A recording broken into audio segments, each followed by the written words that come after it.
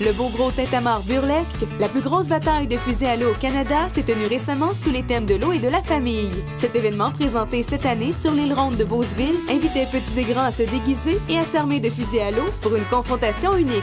Au menu de cette journée, jeux gonflables, dragons cracheurs de feu et spectacle en soirée de plusieurs artistes dont Marteau la tournée. Rendez-vous l'an prochain pour une autre édition du Tintamarre burlesque.